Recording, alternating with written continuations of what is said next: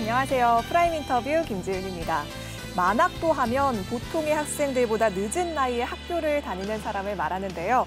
가정 형편이 어려워서 학업을 중단했다가 다시 시작하는 경우가 많은데 여기 배움으로써 새로운 꿈을 꿀 수 있다는 것이 가장 큰 행복이라고 말하는 만학도가 있습니다. 76세 충북대학교 법무대학원에 합격한 김기영 선생님인데요. 오늘 프라임 인터뷰에서는 만학도 김기영 선생님과 함께 다양한 이야기 나눠보도록 하겠습니다. 선생님 반갑습니다. 예, 안녕하세요. 네, 현재 충북대학교 법무대학원에 재학 중이신데요. 선생님께서 다니시는 법무대학원하고 또 법학 전문대학원은 어떻게 좀 다른 건가요? 예, 법학 대학은 예, 우리나라의 예, 법관, 어, 네. 법, 예, 이, 집행하는 사법기관의 판사, 검사를 양성하는 학교라고 생각하시면 되고 네. 제가 다니는 법무대학원은 예, 대학에서 법학을 전공한 학생들이 좀 더 법을 심층 있게 배우고 법에 대한 학문을 닦는 그런 도량이라고 생각하면 되겠습니다. 그렇군요. 예, 예. 그러니까 올 3월에 이제 충북대학교 법무대학원에 합격하셔서 1학기 과정을 이제 막 예. 밟고 계시는 건데. 여러 가지 학문이 있잖아요. 근데 예. 이렇게 법학에 관심을 두시는 이유가 있을까요? 제가 법학을 하게 된 관심은 기- 이야기가 좀 길어질 것 같은데 네. 제가 어릴 때 우리 어머니가 제가 어릴 때 14살 때 어머니가 돌아가시면서 내 손을 잡고 엄마가 미안하다. 아, 엄마가 어, 이 좋은 집안이니까 네. 태어났으면은 공부를 시켜서 법관을 시켜야 되겠다는 이야기를 내가 좀 몇 번 들었습니다. 네. 뭐 그거는 흘러들었는데 제가 이제 성장하고 인생을 살다 보니 한 69세쯤 됐을 때 문득 지나간 추억을 생각해 보니까 네. 엄마 생각이 나더라고요. 그리고 엄마가 돌아가시면서 하시는 말이 문득 생각나서 아 엄마하고 약속을 한번 지켜볼까 이라고 어, 충북도 교육청에 가서 이기용 네. 교육감을 만나서 공부하는 그 방법을 여쭤봤더니 그 검, 그 정규 교육을 받으려면은 에, 검정고시를 네, 치러야 검정고시. 돼요. 그 검정고시를 치러 가지고 공부를 했습니다. 그렇군요. 그러니까 예. 어머니의 말씀이 계기가 돼서 이렇게 법학 공부를 시작하시게 된 건데 네. 어, 같은 과 학생들이 대부분 손잡벌이라고 들었어요. 함께 어울려서 공부하시기는 어떠신가요?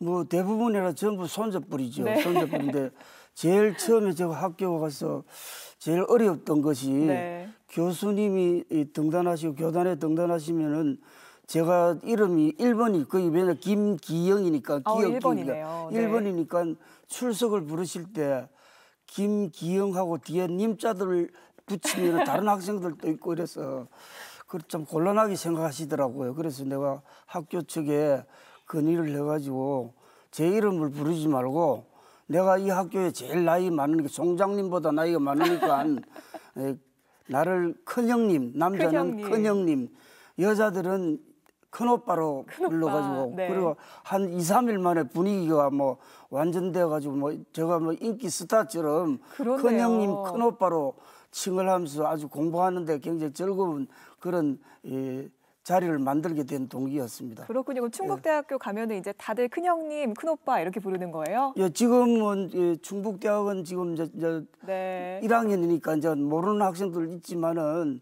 제가 청주대학교에서 4년 다닐 때 네. 그때는 뭐다다 큰오빠.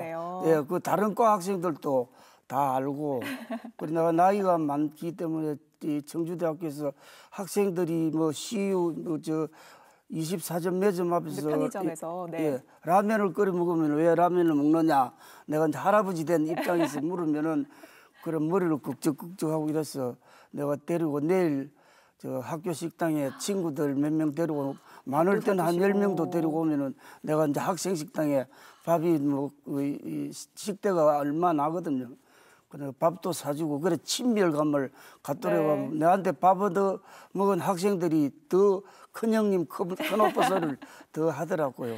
아, 예. 정말 학생들도 너무 좋을 것 예, 같아요. 예. 근데 입학하시고 이제 1학기니까 처음으로 중간고사 치르셨죠? 예, 중간고사 치렀습니다. 아니 시험 공부하면서 정말 힘든 것도 많았을 것 같고 예. 겁하기도 어렵잖아요. 예. 좀 준비하면서 힘든거나 하신 점은 없으셨어요? 뭐 중간고사 힘드는 건다 대학에서 배웠던 거를 이, 이, 이 대학원에서 하니까 그 뭐 저는 올해 졸업을 했기 때문에 굉장히 저는 뭐 이 아 기억이 다 나세요? 기억이 다 나더라고. 그래서 아마 뭐 좋은 성적을 받을 것으로 예상합니다. 아, 성적이 좋을 걸로 예상하세요? 예, 예. 네, 또 그건 확신하죠. 우와 정말 예. 이렇게 자신감 있게 말하기가 아, 쉽지 예, 않은데 예, 예. 고- 이 교수님들도 그래 칭찬을 하고 왜냐하면 3월 달에 졸업을 했으니까 그 법학을 다 공부했던 게 이 대학에서 바로 하니까 다른 학생들은 2년 뭐 후에 들어온 학생 또 직장에 다니던 학생들이니까 안- 아무래도 그런 학생들보다 네. 내가 좀 유리하더라고요. 그래서 내가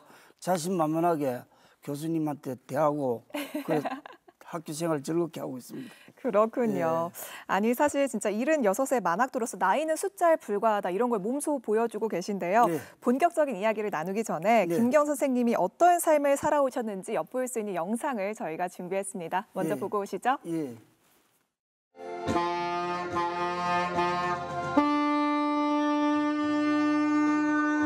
지난날 먹고 살기 바빠 취미생활은 꿈도 꾸지 못했던 한 사나이가 나이 65을 넘기고서 독학으로 색소폰과 기타를 배웠습니다.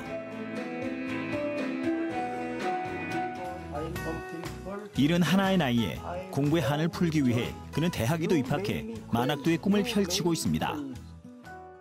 지난 1989년 그는 교통사고로 아내를 잃었습니다. 그 뒤로 혼자서 딸 아들을 공부시켜 시집 장가까지 다 보냈지만 아내의 빈자리는 늘 컸습니다. 뭐 가정에 뭐 아내가 없으니까 애기들한테 심적으로 뭐 괴로움 뭐 그런 걸 다 아버지가 다 해야 되니까 힘, 무척 힘들었습니다. 과거 월남 참전 용사였던 그는 전역을 한 이후에도 부산에 터를 잡고 살았지만 아내가 없는 부산이 싫어져 끝내 청주로 이사를 왔습니다. 부산에 있다가 한 청주에 온 지가 한 15년 전에 청주에 왔습니다. 그 집짓는 막, 막노동 했어요, 막노동. 막노동하고 운전도 하고 자식 둘을 출가시키고 나서야 비로소 배우지 못한 한을 풀게 된 김기영 씨. 뒤늦게 공부 재미에 빠진 그에게도 영어는 넘기 힘든 벽인데요. 그래도 이렇게 맘 놓고 공부할 수 있다는 것이 꿈만 같습니다. Rice, 왈세프 rice. 초등학교 졸업장밖에 없었던 그가 칠순을 바라보는 나이에 검정고시에 도전. 불과 2년 사이에 중고등학교 과정을 마쳐 세상을 놀라게 했고 마침내 늦깎이 대학생이 됐습니다. 어머니가 하신 말씀이 항시 이제 머릿속에 있더라고. 아이고, 내가 공부를 열심히 해가지고 엄마가 생각하던 판검사가 되는 게 아니고 법, 뭐, 법 공부를 해봤으면 좋겠다. 그래, 법대 가서 2년 공부하고 또 허락이 되면은 대학원까지 내가 어, 가려고 목표를 지금 설정해 놓고 있습니다. 가난과 싸우며 가족들을 책임지느라 잃어버렸던 꿈. 뒤늦게 새로운 인생을 살면서 그 꿈을 위해 도전을 두려워하지 않는 김기영 씨. 그의 멋진 인생 산막을 응원합니다. 저게 지금 보니까 5년 전 모습이에요. 예, 5년 보, 전 보니까 이제 대학원도 입학하고 내가 이렇게 막 목표를 말했는데 지금 다 이루셨네요. 예, 다 이렇습니다. 또 이제 목표를 설정해 놓고 있습니다. 아, 그렇군요. 아, 근데 화면을 통해서 보니까 정말 굴곡진 인생을 살아오셨다 이런 걸 느낄 예, 수가 예. 있었는데 불과 몇 년 전까지만 해도 예. 초등학교 졸업장밖에 없으셨다 이런 이야기가 나오더라고요. 예, 맞습니다. 좀 어린 시절에는 학업하기가 어려울 정도로 가정 형편이 좀 어려우셨나요? 뭐 어려운 게 아니라 뭐 굉장히 어렵죠. 음. 뭐 어머니가 일찍 돌아가시고 네.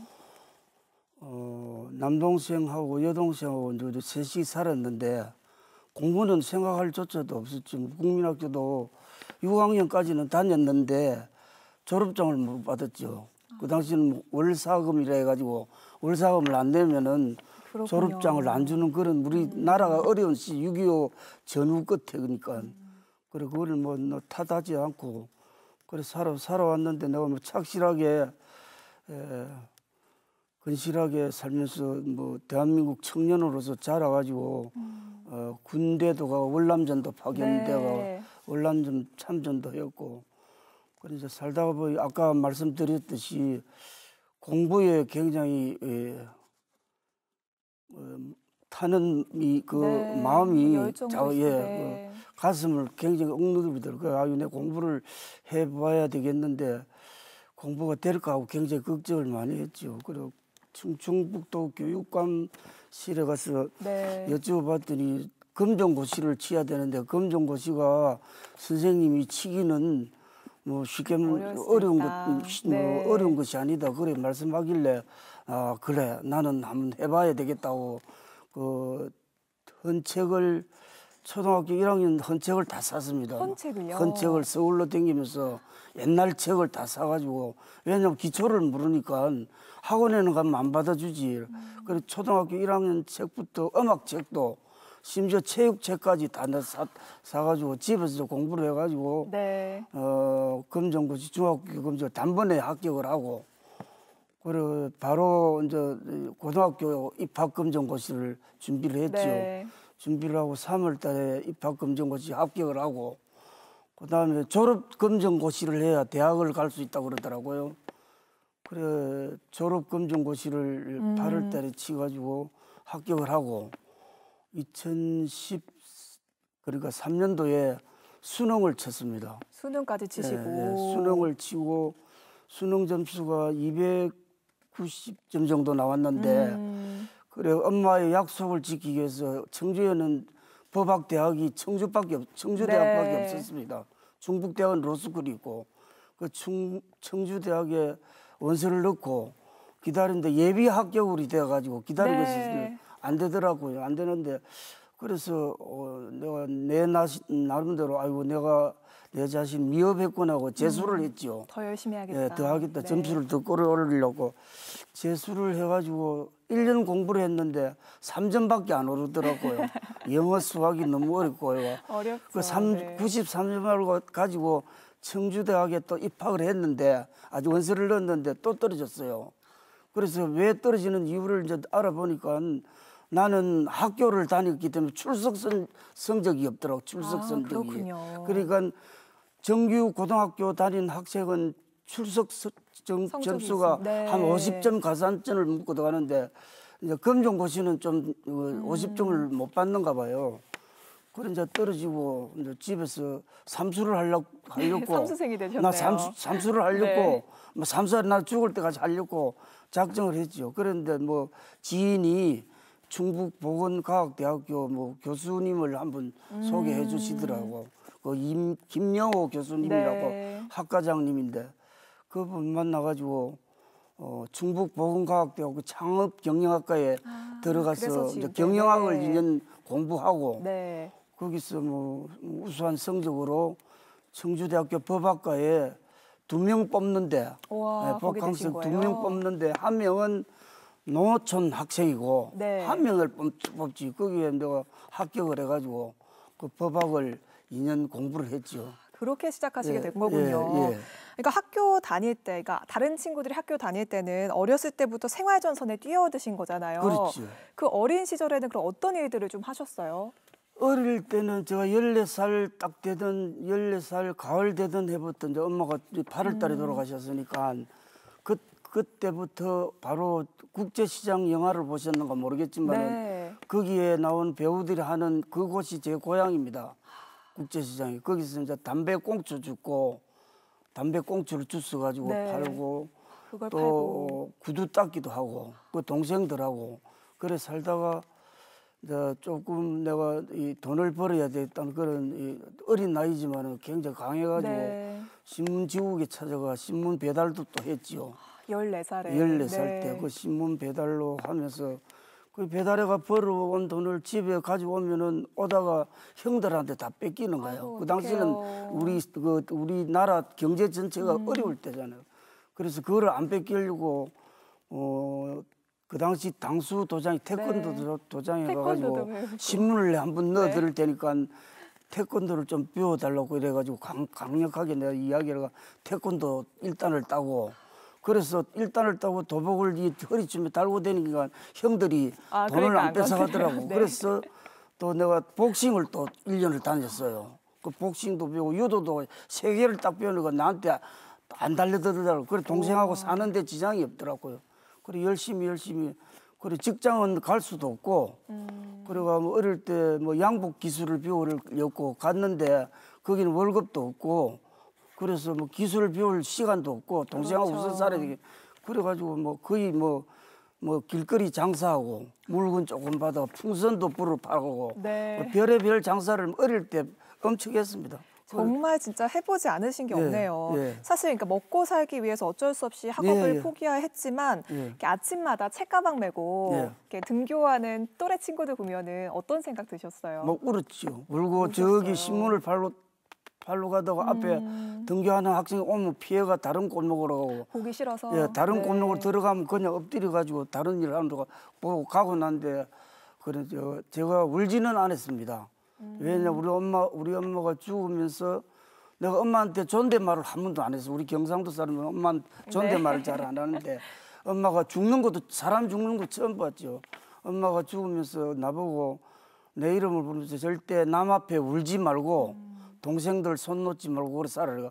그 말을 내가 명심하고 절대 안 울었습니다. 울고 싶으면 집에 와서 입을 덮으시고 울었지 남 앞에서는 안 우는 네. 그런 강인한 성격을 지금도 가지고 있습니다. 지금도 그 어린 시절 생각하시면 마음이 정말 찡하실 것 같아요. 예, 예. 사실 그렇게 또래 친구들과는 다른 길을 이제 걸어가면서 청소년기를 보내셨는데 화면 속 아까 보니까 월남 참전 용사라고 예, 예. 나오더라고요. 예. 그럼 군대는 몇 살 때부터 몇 살까지 군대는 계셨나요? 23살 때 예, 군에 가가지고 저 전방에서 근무하다가 네. 아, 제대가 그 당시 이제 36개월 이 복무 기간인데 음. 제가 군대 생활 한 33개월 했을 때 월남전이 이 시작이 됐습니다. 그 월남을 파병을 하는데 다른 음, 사람들은 월남이 턱명이 내려면 안 갈렸고 뭐뭐 몸이 아프다 막 이러는데 나는 갈, 갈렸고 지원을 했습니다. 지원을 하니까 나보고 이제 이 부대 장교님들이 어, 제대가 얼마 안 남았기 때문에 어, 월남을 못 간다. 그리고 너는 나는 이 국민학교 졸업이지만 행정병이 됐습니다. 네. 왜냐하면 필적이 좋아가지고 그 당시에는 볼펜도 없고 철펜으로 썼잖아요. 필적이 좋고 행정을 봤는데 행정병이기 때문에 못 간다. 군에는 못 간다 그래도 그래서 내가 그 어떻게 이야기가 병가를 바꿔 달라 해가지고 전투병으로 바꿔가지고 제대 7개월 남고 월남을 가게 됐습니다. 갈 수 없는 상황인데 그렇네요. 내가 엄청난 노력 끝에 부대 지휘관한테 사정해가지고 그래 월남을 갔지요. 네. 가는데 11일 간 배를 타고 도착하니까 제대 날짜가 한 5개월밖에 안 남았더라. 춘천에서 2개월 교, 교육받고 5개월밖에 안 남았더라. 네. 그래도 제대를 멈, 연장하면서 어, 돈 더 벌려고 돈 돈을. 벌어오면은 네. 내 동생하고 살 것이라고 굳은 굳, 굳은 의지로 뭐 다른 애들 안 하는 거를 내가 전투를 지원해가 나가고 그렇네요. 지원해가 나면 수당이 또 나오잖아요. 그렇게 하면 내가 그때부터 아주 아주 독한 마음을 먹고 사는 방법을 내 자신대로 터득했다고. 그렇네요. 네. 아, 정말 근데 이제 군 생활도 무사히 마치고 딱 돌아왔을 때 네. 이제 직장도 구해야 되고 결혼도 해야 되잖아요. 그런 과정들을 어떻게 좀 순탄했나요? 결혼 과정은 일단 저 월남에서 돈을 벌어 왔기 때문에 네. 뭐 조그마한 집 하나 사고 아, 그래가지고 또 누님들이 또 중매해가지고 결혼은 그래 뭐 했습니다. 네. 하고 뭐 아들 딸 놓고 뭐잘 살다가 집 사람이 89년도 음. 교통사고로 어 불의의 교통사고로 이제 내가 보냈지요. 보내고부터 이제 내가 방황하기 시작했습니다. 그때 우리 이제 딸이 에, 중학교 3학년일 때인데 뭐 딸을 딸을 여동생한테 맡기고 아들하고 맡겨놓고 음. 나는 그 내가 살던 부산이 살기 싫더라고요. 그 방랑의 길을 떠난다고 네. 이제 그냥 음, 옷도 없이 그냥 뭐 대구로 와가지고 대구에서 뭐 시골에 들어가가지고 시골 농사도 못 짓는 낫도 안 잡은 사람이 가 밥만 먹이 주면 일하겠다고 거기 가서 버티고 한 1년을 내가 살았습니다. 살다가 돈을 조금 벌어가지고 거기서 어, 하천부지를 조그마한 거 하나 사가지고 그 대추나무를 심고 내가 내 나름대로 네. 그래 있다가 살려고. 그것도 뭐 큰 뜻을 못 이루고 다시 또 흘러온 게 청주까지 올라왔습니다. 그렇군요. 아니 네. 근데 정말 말씀을 듣는 것만으로도 아, 진짜 녹록치 않은 시간이었겠다 싶은데 홀로 되시고 아이들을 키우셔야 되잖아요. 네. 또 어머니의 빈자리가 있기 때문에 말 못할 어려움이 정말 많으셨을 것 같아요. 그렇죠. 그 뭐 애들 국민학교, 중학교 다닐 때 음. 학비는 내가 어떻게든지 벌어가지고 나쁜 짓 안 하고 막노동을 해도 벌어간 자 부산에 내려보내고 네. 이 애들만큼은 내가 대학은 꼭 보내야 되겠다.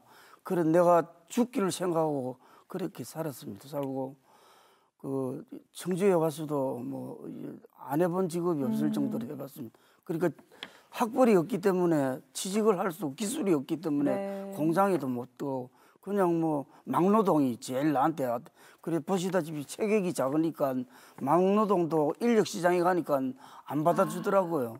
그 체격 좋은 사람 팔려 나가면 네. 8만 원짜리 팔리 나가면 7만 원, 6만 원 나는 한 4만 원짜리가 되더라고. 음. 뭐 청소하는 일은 그래 그것도 좋다고 그래 갔지요. 그렇군요. 정말 아빠 혼자 엄마의 빈자리까지 채워가면서 아이들을 키운다는 게 정말 힘든 일인데 대단하시다는 생각이 예. 드네요.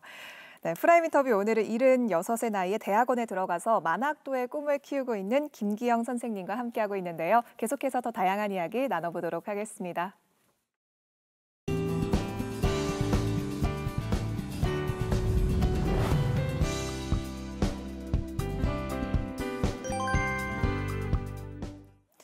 네, 이제 앞서서도 결혼을 하시고도 쭉 부산에 사시다가 청주로 오셨다고 들었는데 예. 청주에는 어떻게 오시게 된 거예요? 그냥 청주는 뭐 무작정하고 음, 어, 올라왔죠. 옛날에 네. 저희 윗대 할아버지 고향이 청주 보원 쪽이거든요. 그래서 뭐 부산이 싫어서 올라온 게 청주에 음. 정착하게 됐습니다. 그렇군요. 어, 근데 사실 이렇게 낯선 땅이니까 조금 살기 힘드시진 않으셨어요? 엄청나게 힘들었죠. 엄청나게 왜냐면 말 힘드셨어요? 억양이 말에 대한 뭐 톤도 틀리고 음, 그러니까 친구도 사귀기도 힘들고 맞아요. 어려웠습니다. 그래 막노동을 하는데 다니니까 금방 친해지고 아, 그 객지에서 왔다니까 이 청주 양반들이 양반들이더라고요. 그 나를 대하는 게 굉장히 부드럽게 정감 있게 음. 네. 그렇게 대, 대해줘서 내가 사는데 큰 지장은 없이 음, 지금까지. 그, 예, 그래서. 그래 뭐 별에 매일 이 업종이 일하는 그 업종이 바뀌니까 뭐 막리 하는 일, 뭐 지붕 하는 네. 일, 그 심지어 정화조 정화조 푸는데 그 옆에 네. 보조자 저 석에 앉으면 그것도 조금 인건비를 더 주더라고요. 그래 다니면서 정화조 프로도 다니고 그거는 다- 다른 네. 사람들 피하더라고요. 피해서 저는 그거를 많이 하고 그래서 이, 이 막노동만 하면 너무 힘이 들어서 음, 대형 면허를 이제 청주에서 또 땄습니다. 정말 다양한 예, 일 예, 하셨네요. 따가지고 네. 추력 운전수도 추력 운전도 스피아 대리로 하고 아. 버스도 버스도 그 버스 관광회사 가가지고 면허증은 내가 낸 지가 며칠 안 됐는데 시켜주면 사고 안 내고. 해볼까 내가 막 매달렸더니 네. 한번 해봐라 해가지고 한번 해봤더니 그 당시부터 잘한다 이래가지고 오. 버스 그 대리 운전도 많이 하고 추력도 하고 뭐 택시도 하고 막 네. 딱지는 고정은 안 되더라고요. 그냥 아니 사실 오늘 이 시간을 하신 일만 풀어내셔도 네. 아, 이 시간을 예. 꽉 채울 수 있을 것 예, 같은데 예, 예. 아니 이렇게 바쁜 삶을 사시면서도 공부에 대한 그 소신, 공부를 꼭 해야겠다 이런 생각을 하신 이유가 너무 궁금해요. 네 그거는 뭐 우리 어머니하고 음. 약속을 지키기 위해서 그 어머니가 그 돌아가실 때 그 약속. 예, 그 약속을 뭐그 어머니가 그, 그 떠나보내서 자식한테 그 애절하게 남긴 말이 제가 가슴 속에 와 있고 나중에 제가 책을 접하고 이랬을 때 뭐 소련 저 러시아의 그 문, 저 문학가 음. 네. 푸시긴이 했던 말 생활이 그대를 속이더라도 슬퍼하지 마라 음. 그 시를 읽고 내가 그분 그 시인보다 우리 엄마가 해주는 말이 더 머릿속에 내알이 치더라고요. 어, 절대 남 앞에 울지 말고 어, 꿋꿋하게 살아라. 그게 에, 자식한테 던진 그 메시지가 나한테는 큰그 그렇겠네요. 힘이 된 것 같습니다. 지금 어머니가 보시면 정말 뿌듯해하실 것 아, 같아요. 네. 어, 늦가기 대학생, 대학원생으로 이제 예. 젊은 친구들과 경쟁을 하잖아요. 예, 예. 그러다 보면 조금 스트레스가 쌓일 때도 있을 것 같은데 그런 스트레스가 쌓이면은 푸는 방법도 있나요? 스트레스 받는 법이 받는 적은 없었는데 어, 오히려 정말요? 젊은 친구들이 스트레스 받아가 저한테 오면은 제가 소주도 한 잔 하고 네. 어, 뭐 식사도 하고 같이 그러면 제가 스트레스 받는 거는 극히 없었습니다. 왜냐면 공부를 해야 되겠다는 그 집념 하나가 나를 그렇게 만드는 것 같습니다. 아, 정말 좀 많이 배우게 되네요. 예, 예.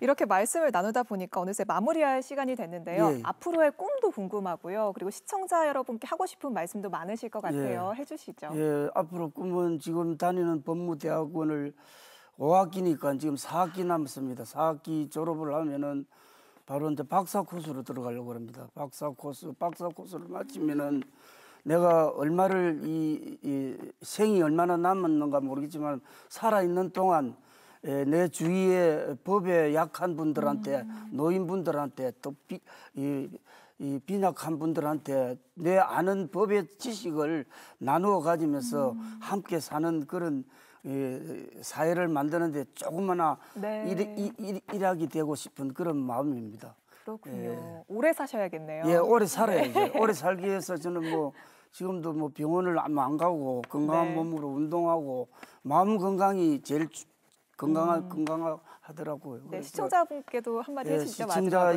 네. 여러분께 저, 저처럼 연세 많고 나이 많은 분들 절대 포기하지 마시고 제가 인생을 70부터 시작했습니다. 70부터 시작했으니까 절대 어, 놓치지 말고 이 70에 온 기회를 꼭 잡으시면은 좋은 결과가 우리한테 올 것 같습니다. 자, 오면은 오늘보다 내일이 더 좋고 아름다운 행복한 그런 날이 올 것이라고 저는 믿습니다. 여러분 화이팅 합시다. 네, 아 정말 멋진 말씀이었습니다. 프라임 인터뷰 지금까지 만학도 대학원생 김기영 선생님과 이야기 나눠봤는데요. 오늘 말씀 고맙습니다. 네, 감사합니다. 네, 젊어서 가난과 싸우며 가족들을 책임지느라 꿈을 잃고 살았던 김기영 선생님, 자신의 꿈을 향해서 멋지게 비상하고 있는 김기영 선생님을 저희 프라임 인터뷰도 응원을 하겠습니다. 오늘 프라임 인터뷰는 김기영 선생님의 색소폰 연주를 감상하면서 마치도록 하겠습니다. 함께해 주신 여러분 고맙습니다.